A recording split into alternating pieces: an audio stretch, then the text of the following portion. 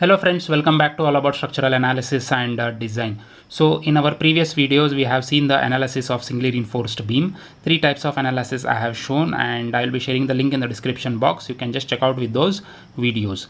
In this today's video, we shall design the singly reinforced beam completely with codal stipulations. So the given data for this uh, design is a rectangular beam supported on 300 mm wall having clear span 6 meters live load that is LL is 12 kilonewton per meter.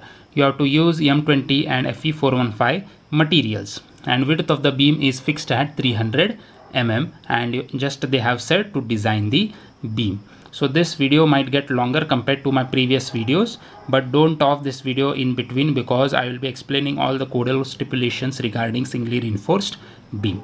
So as usual in our RCC problem we shall first write down the given data. So the given data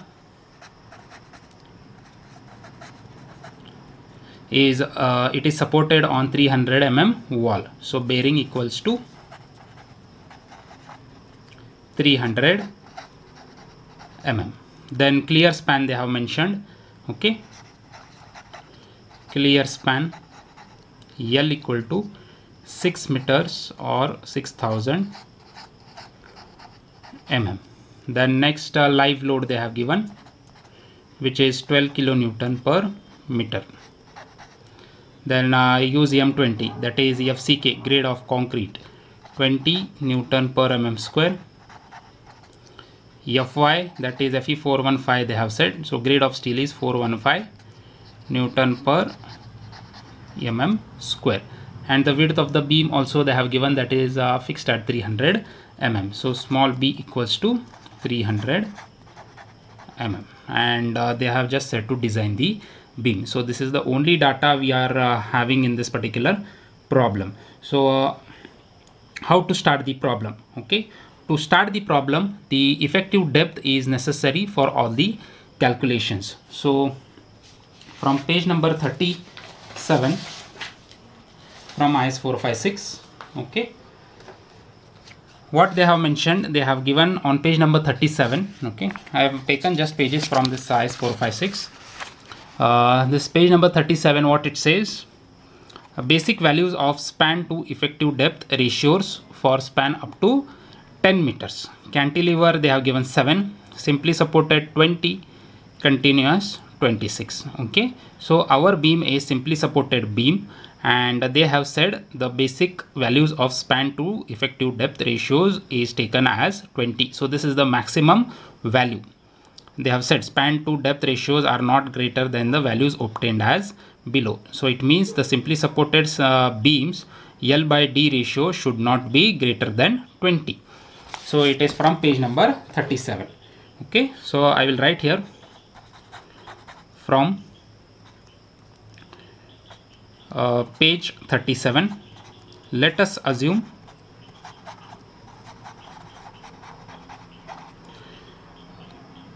d equal to effective depth equal to L by 15 so maximum was 20 so we are assuming it as 15 L by D ratio is equals to 15 so I have uh, moved D to this side and uh, taken 15 in denominator. Okay so the L given is 6000 millimeter divided by 15 therefore our d becomes 400 mm.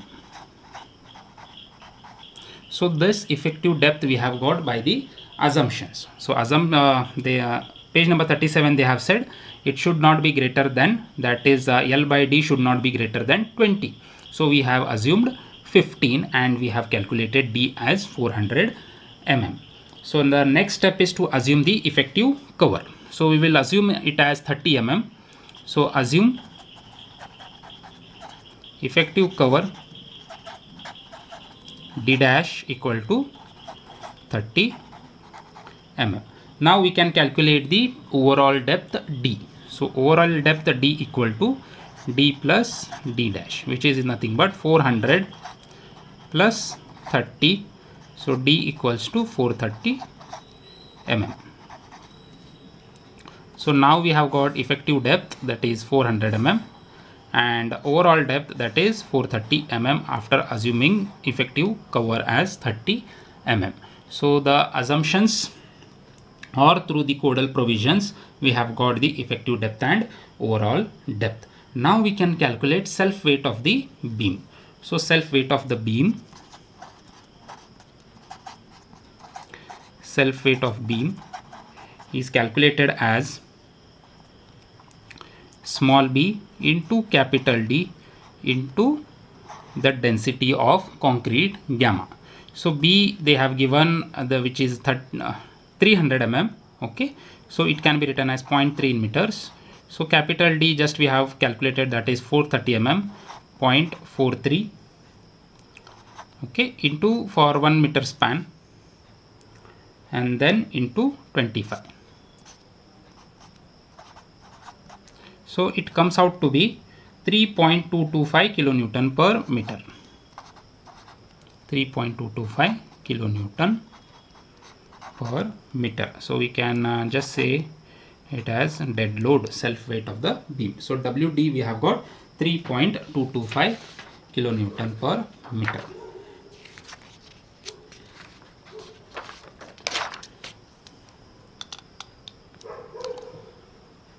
so now we can go for uh, the live load. Live load is given wl we will denote it as 12 kilonewton per meter. Okay. Then total w equals to wd plus wl wd was 3.225 plus 12 so total w will be 15.225 kilonewton per meter. Okay now you have got the total load inclusive of live load and dead load. Now ultimate load. Ultimate load is nothing but after multiplication of factor of safety you will get the ultimate load wu so we will denote it as wu wu equal to 1.5 into w so wu equals to 1.5 into 15.225 therefore wu equal to 22.84 kilonewton per meter. So this is now your ultimate load. Okay. Without having uh, d just by having uh, width by the assumptions by through the codal provisions we have calculated effective depth from effective depth overall depth then we have calculated self weight of the beam and live load was given and from that we have arrived at ultimate load that is WU.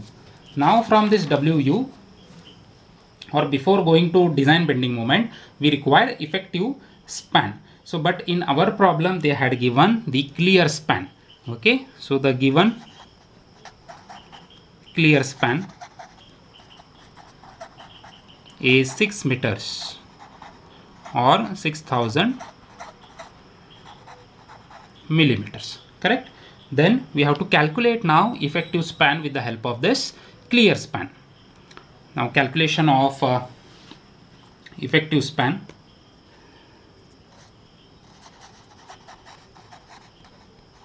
Calculation of effective span now what we have to do we have to uh, there is a codal provision again on page number 34 so on page number 34 they have mentioned the clause 22.2 unless otherwise specified the effective span of member shall be taken as follows. For simply supported beam as well as simply supported slab. The effective span of a member that is not built integrally which is simply supported with its supports shall be taken as clear span plus the effective depth of slab or beam or center to center distance between the support. The next uh, sentence is very important whichever is less. There are two criterias and from that two criterias whichever is less you have to take it. Okay. So one by one we'll see what it is. So the first criteria is uh, effective span equal to clear span plus effective depth so effective span equals to clear span plus effective depth. So clear span is 6 meters plus effective depth is 0.4 meters which will come as 6.4 meters and the second uh, stipulation is effective span equals to center to center distance between supports. So the uh, bearing was 300 mm. So center will be 0.3 divided by 2 plus 6 which is clear span plus 0.3 divided by 2 then it will become 6.3 meters. Select whichever is less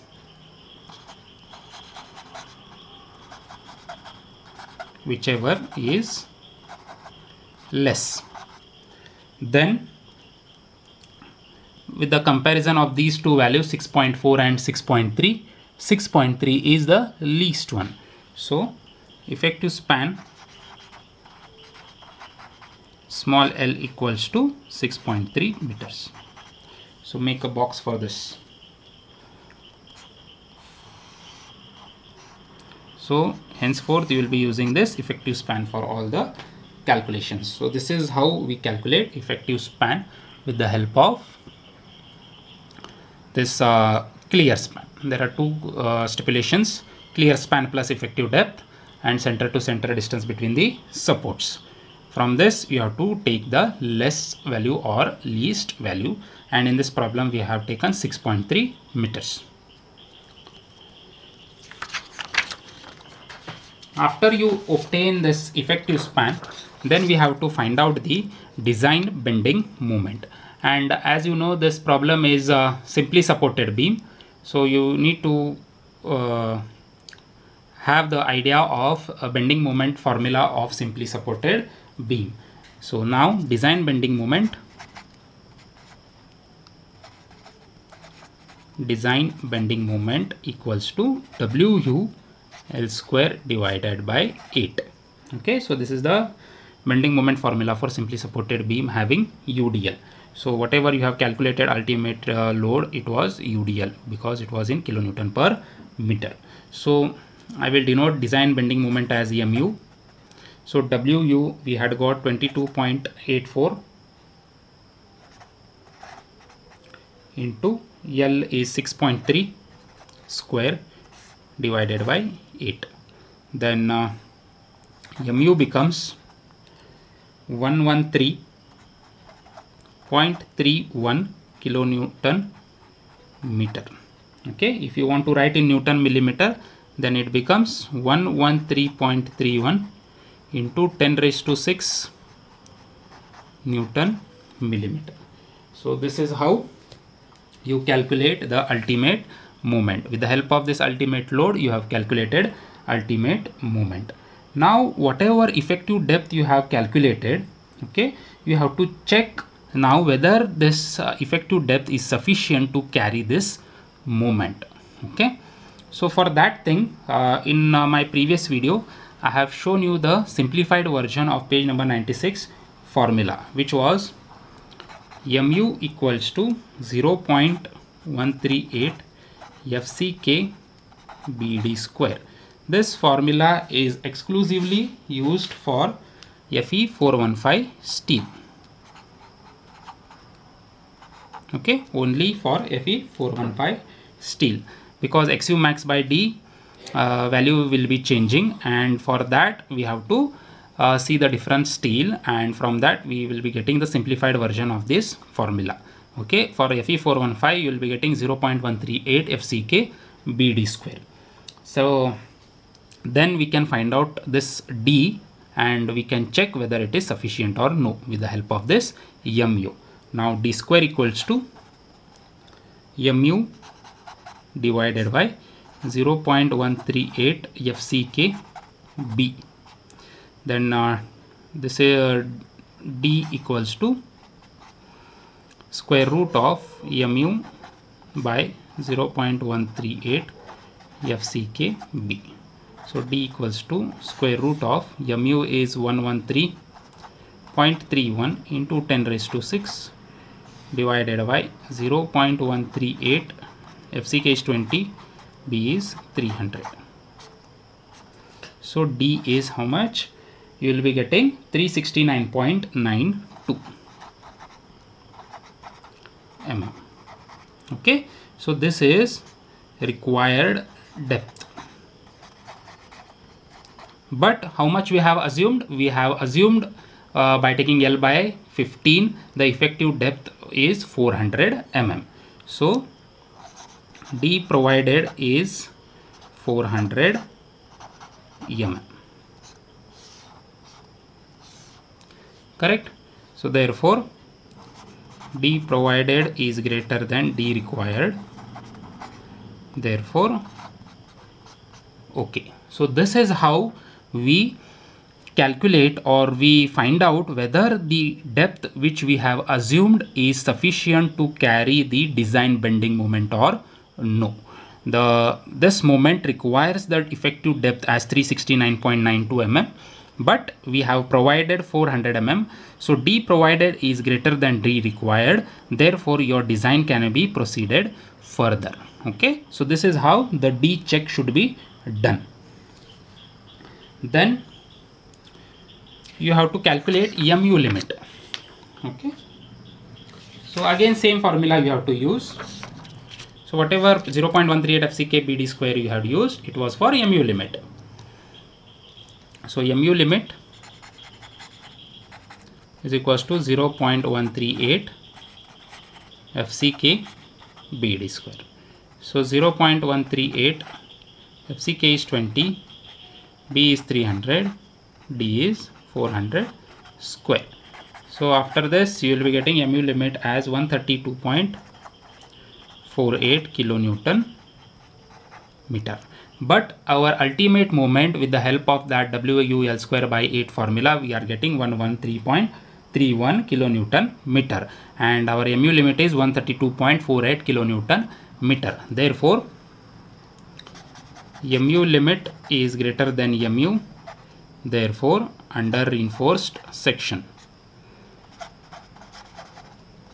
under reinforced section so whatever we are calculating or designing now is uh, satisfying the codal provisions. So it is under reinforced section and D is also sufficient. Now what we have to do you have to go for AST calculation or area of steel calculation. Okay? Now calculation of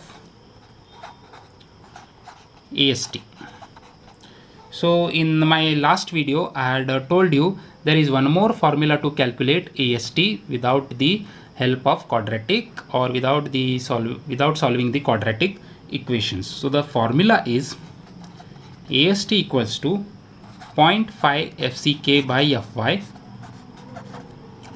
1 minus root of 1 minus 4.6 mu by fck bd square into bd.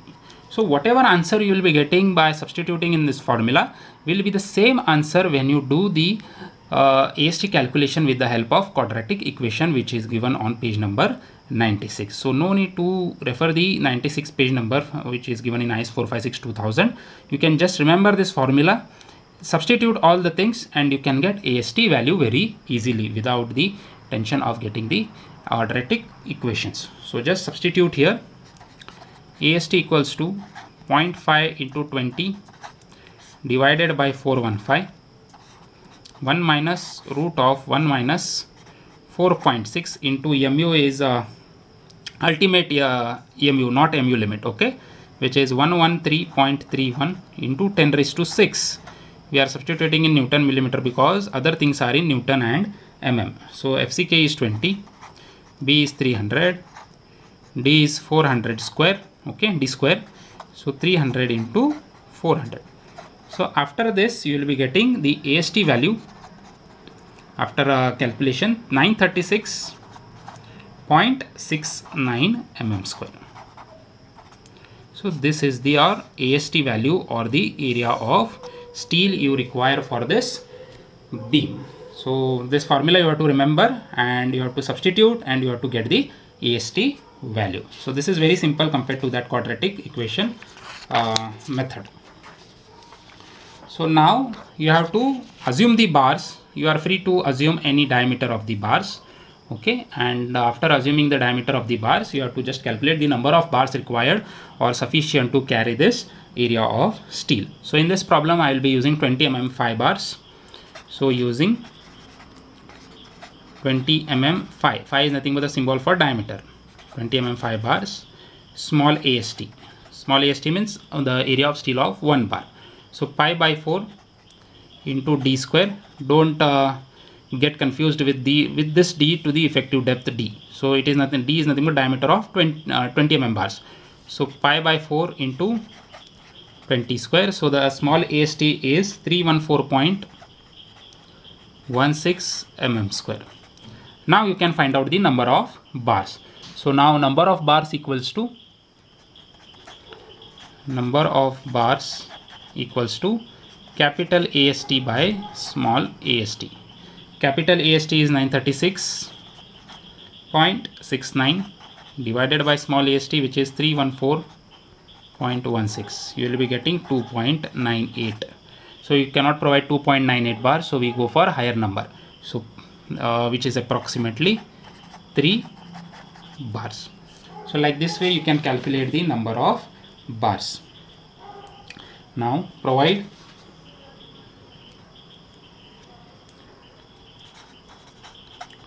provide 3 bars of 20 mm 5 at tension side.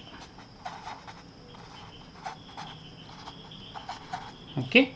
Now actual AST also you have to calculate. What is actual AST? Actual AST is nothing but the actual bars you are going to provide. According to calculations, it was 2.98 but we have rounded, rounded off to next higher number which is 3. So we have to calculate the now the new AST or actual AST which will have this 3 bars. So uh, this we can calculate 3 bars into pi by 4 20 square. So we will be getting 942.8 mm square. So this is the actual AST you are going to provide. So I'll make a black box for this again. And again your codal provision says page number 46 and 47. So the IS code says what is the minimum reinforcement you have to provide in a beam. So on page number 46, you can see the page number here, page number 46 there is a requirements of reinforcement for structural members on clause 26.5 and the 26.5.1 says beams and 26.5.1.1 it says tension reinforcement so minimum reinforcement is the minimum area of tension reinforcement shall not be less than that.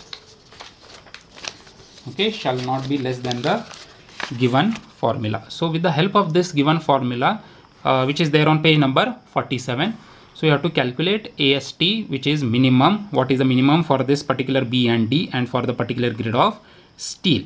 And also they have mentioned maximum reinforcement so there is a limit to provide maximum reinforcement beyond which you cannot provide and the maximum area of tension reinforcement shall not exceed 0.04 into B that is effect uh, width of the beam and D overall depth. So you have to calculate or you have to satisfy these codal provisions that is minimum reinforcement and maximum reinforcement.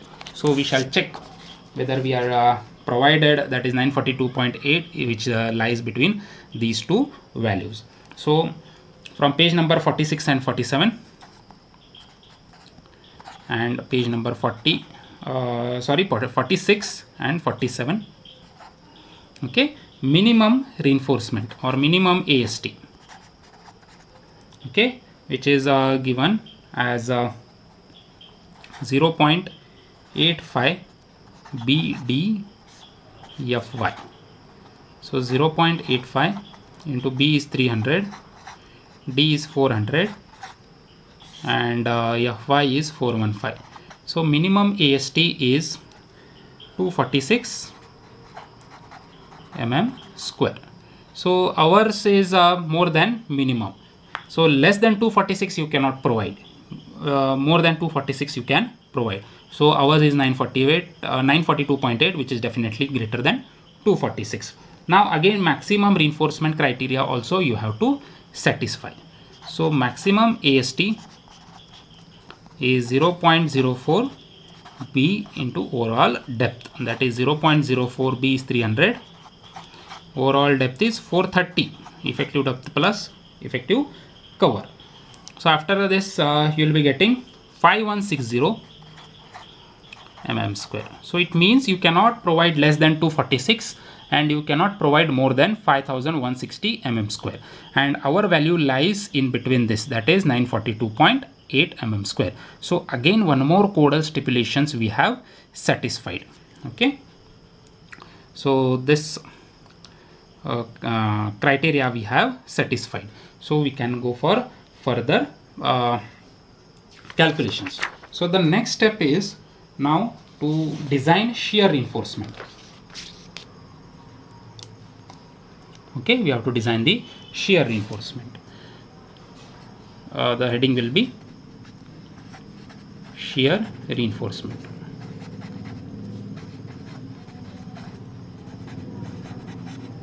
So the shear reinforcement uh, we take it as a factored load.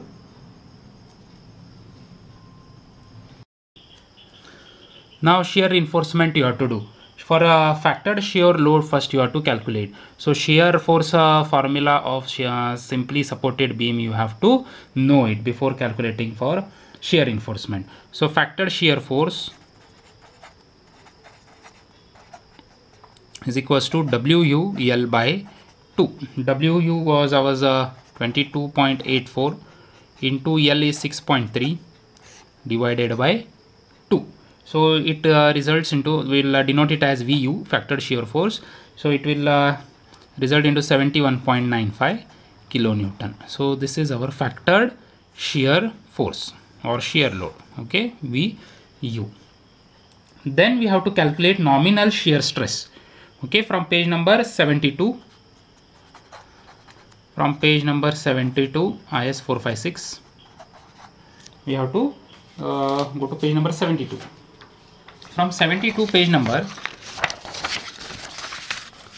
Okay so this is the page number 72 from 72 page number nominal shear stress they have given.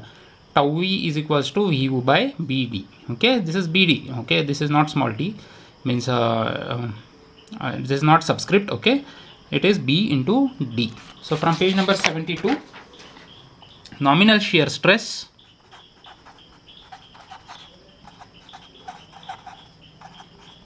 shear stress tau v. Tau v is equals to vu by bd vu is 71.95 kilonewton. It uh, into 10 to 3 means it will become in newton. B is 300 d is 400 so tau v equal to 0.6 newton per mm square. So this is your tau v nominal shear stress. Okay? And after a nominal shear stress you need to calculate the percentage of tension reinforcement to calculate the shear strength or design shear strength of concrete. Okay? So how to calculate percentage reinforcement? So okay? Now percentage of tension reinforcement. You have calculated area but you have to find out the percentage. Okay? Percentage of tension reinforcement I will denote it as small p, p equal to AST by BD into 100. AST means actual AST was 942.48, B is uh, 300, D is 400 into 100. So it comes out to be 0 0.7854. 7854 percent. This is equal to small p. Okay. So percentage of tension reinforcement is 0.7854 P. And after this you have to calculate the design shear strength of concrete. So after this design shear strength of concrete.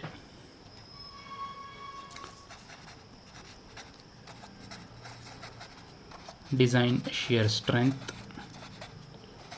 of concrete okay which is denoted as tau c. So now you have to refer page number 73 table 19 from page number 73 table 19 IS 456 2000 okay I will show you the table. So this table okay page number 73 table 19 design shear strength of concrete tau c in uh, newton per mm square. And why we have calculated percentage of tension reinforcement is because the first column in this table is percentage of tension reinforcement. So our percentage is 0.7854 so 0.7854 is not there in this particular sheet okay or chart but the value is 0.75 and the next value immediate value is 1 so it means 0.7854 lies between 0.75 and 1 and the concrete which we had taken is M20 so for 0.75 tau c is 0.56 and for 1 it is 0.62 for M20 grade of concrete. So these values you have to take and you have to find out the exact tau c for 0.7854 percentage of tension reinforcement. For M20 okay so P equals to 0.75 percent. Tau C was 0.56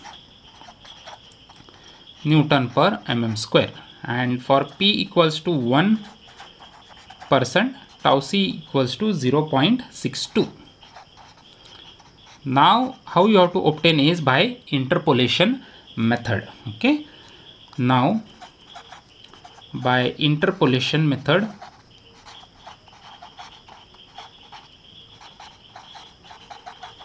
okay tau c at 0.7854 percentage okay? Then what you have to do is select the least value. Why this value? Because your 0.7854 lies between 0.75 and 1 so the 75 value was 56 one value is 0.62 so you have to come increasing order. So you have to first select 0.56 then you have to add it. Why adding? Because it is go going on increasing. That's why we add. One more there will be a problem where it uh, you have to write the negative sign because it will be decreasing. That will take up some other problem okay? Then what you have to do greatest uh, greater value 0.62 minus 0.56 1 minus 0.75 close the bracket and take the value for which you want to find out tau c that is 0.7854 minus the least value that is 0.75 so after calculating this you will be getting 0.5685 Newton per mm square. That is tau c at 0.7854 percent. Okay?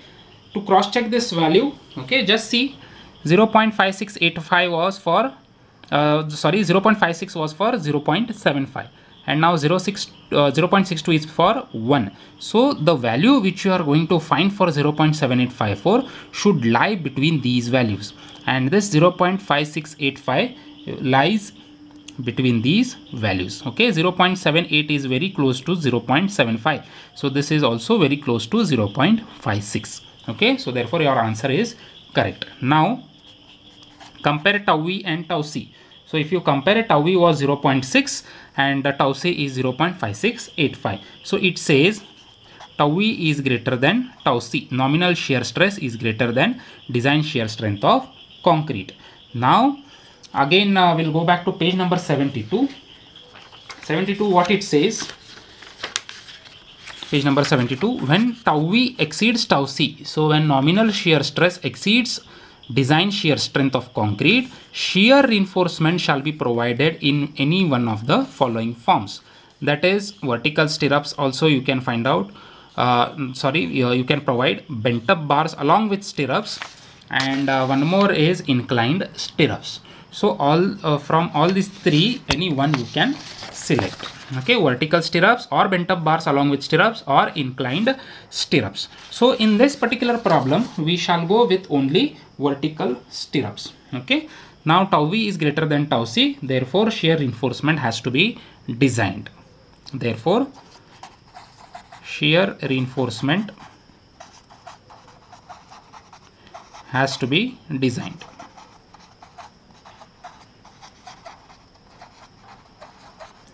Okay. Now uh, I have shown you page number 72 okay. You can just check here. Page number 72 I will write down. Uh, so in this problem or in this case we shall provide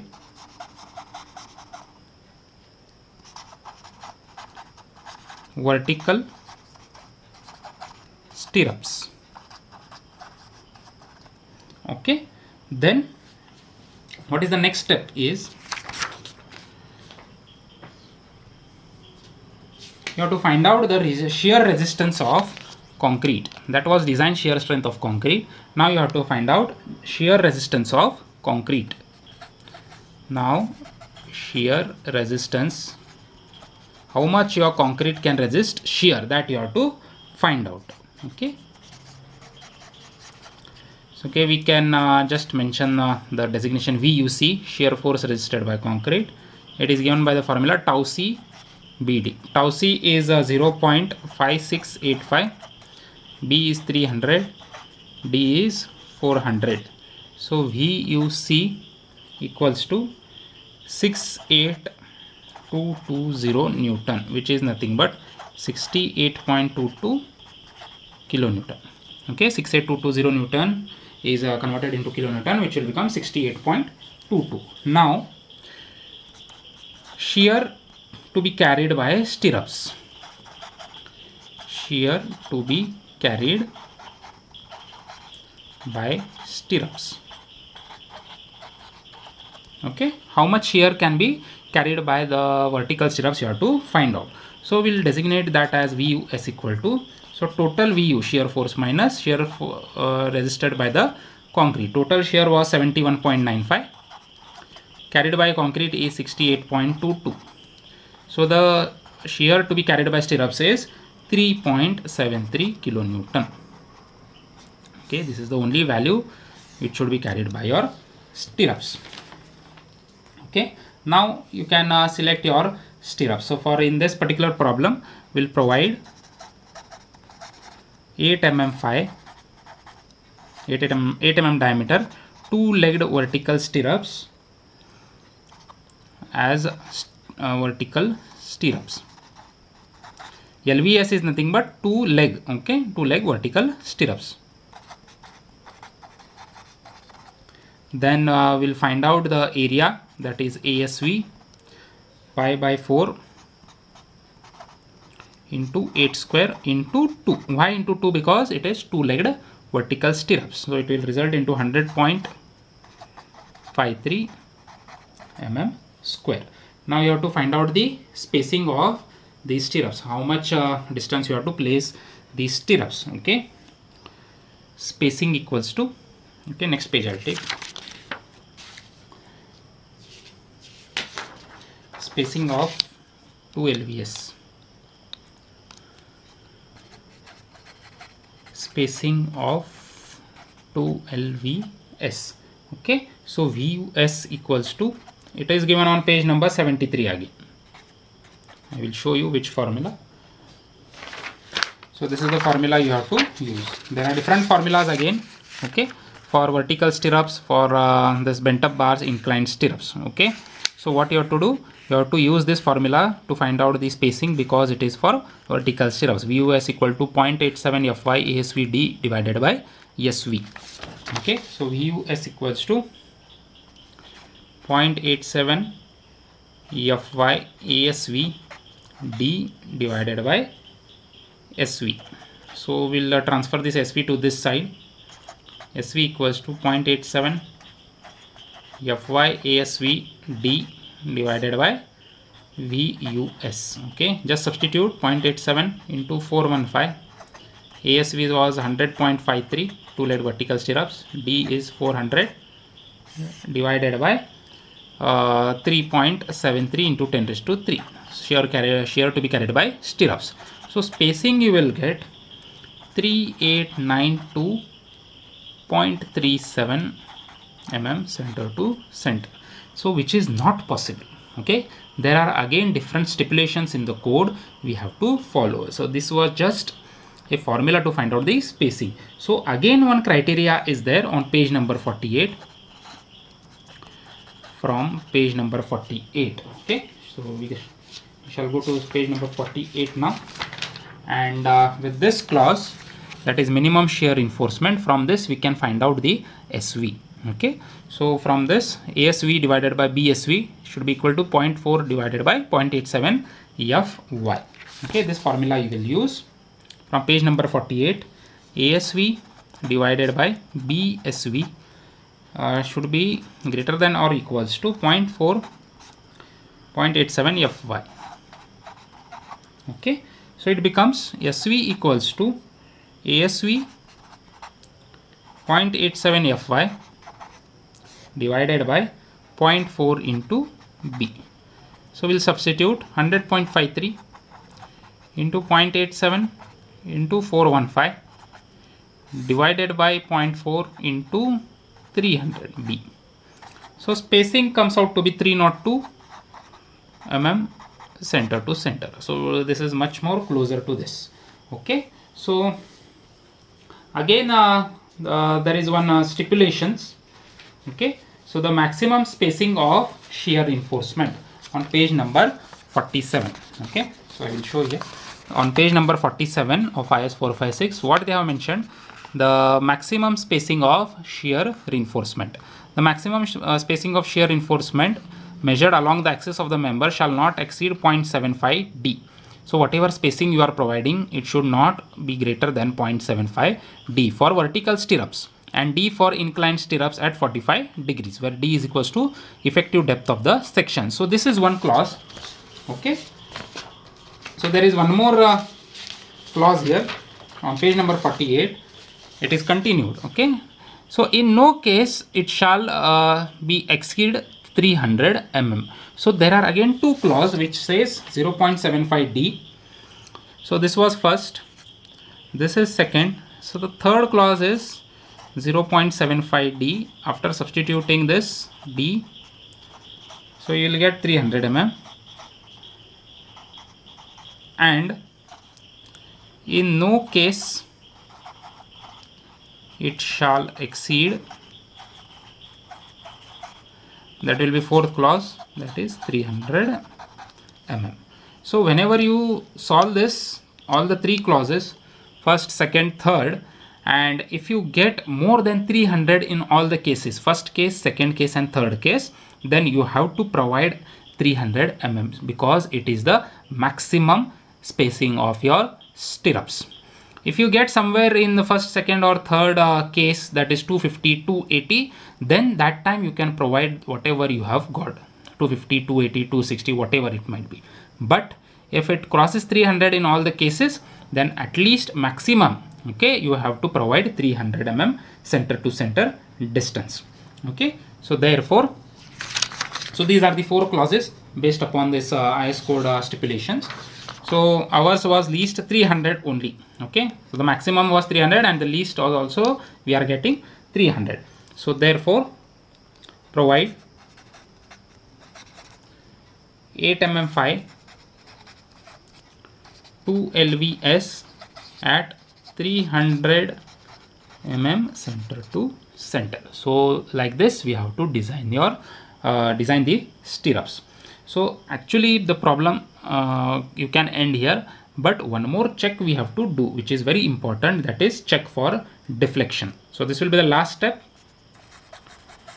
Check for deflection. Okay which is given on page number 38 of IS 456 so for this thing again you have to go to page number 38 okay? So this is the page you have to go. Page number 38 okay? With the help of this chart you have to find out or you have to check for the deflection part. So in this there is a formula fs equal to uh, 0.58 fy area of cross section of steel required divided by area of cross section of steel provided. And before that there is one chart. It says x-axis percentage of tension reinforcement. In our case it is 0.7854 and with this uh, after calculation of fs just see the percentage of tension reinforcement and get the required fs uh, the curve and uh, move horizontally to get the modification factor. Okay how to do this? I will show you. So first thing is percentage of steel which is 0.7854 percent. Then fs with this formula whichever i have uh, whatever i have shown now 0.58 fy ast required divided by ast provided. So it becomes 0.58 into 415 ast required was if you remember you can just go back to that particular uh, step. It is 936.69 divided by provided how much is 942.48 okay this becomes fs equals to 239.22 newton per mm square. So now this 239.22 newton per mm square you have to see in this chart and just check which uh, value it uh, closely lies. 239 is nothing but nearly or uh, nearly equal to fs equal to 240 so 240 chart you have to uh, curve you have to see. Percentage is 0.7854 okay 0.7 means it becomes 0.6 here. Okay after 0.4 0.6 0.8 it means it lies somewhere in between 0.6 and 0.8 okay so you have to go just there and uh, see 240 so it gives approximately 1.1 modification factor. 0.81 1.2 it is. So it lies between 1.1 and uh, 1 and 1.2 so it is 1.1 so k modification factor we do not it as k. It is 1.1 okay. From uh, chart okay or from figure 4 IS 456 okay. Modification factor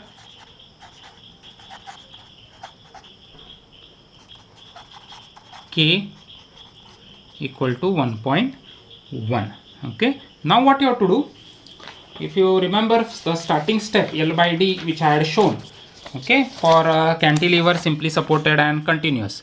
For simply supported it is 20 what it says? Span to effective depth ratio. Okay? So our span but before that we'll find out L by D max span to depth effective ratio maximum equals to 20 okay into k which becomes 20 into 1.1 so it becomes 22 now what L by D you have provided? L by D provided which is 6300 effective span. Then uh, D is uh, 400 it becomes 15.75 so you have to compare these two values L by D max and L by D provided okay? So from here L by D max is greater than L by D provided. So therefore safe in deflection.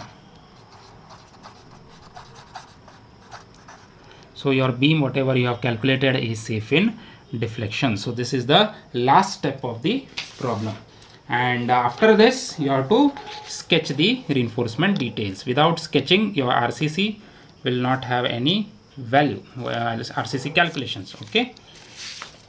So this is the drawing you have to give it to the bar benders after design and analysis. So this is uh, your uh, beam okay? Having the supports 300 mm these are the uh, uh, supports having 300 mm. Then the clear span was 6000 millimeters or 6 meters okay? And our effective span was 6300 mm or 6.3 meters.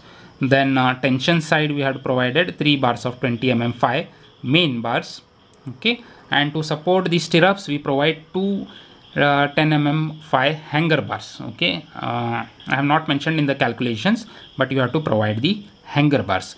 And these are the 8 mm 5 2 LVS at 300 mm center to center vertical stirrups. So whatever red lines you are seeing those are the vertical stirrups.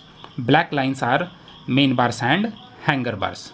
Hanger bars are provided 2 and the main bars by calculation it came 3 so this is the overall depth 430 mm so when you cut a section here at the middle or at the corner what you are going to see is three bars at the bottom at tension side.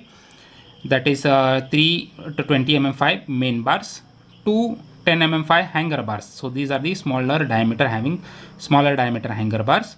And this red line is nothing but 8 mm5 2 lvs at 300 mm center to center. Width of the beam is 300 mm effective cover is 30 mm effective depth is 400 mm. So like this way you have to show the complete sketch of the beam after the design and analysis. So this completes the problem or design problem of a singly reinforced beam. I hope I have cleared all the doubts and I have shown all the stipulations regarding the beam design. So if you have understood this video, please like it, share it and don't forget to subscribe all our structural analysis and uh, design. And also press the bell icon for the latest notifications of videos in civil and structural engineering. Thank you very much guys. And if you want to have some more stipulations if you want to know about the beam you can just comment in the comment sections. Okay? Thank you guys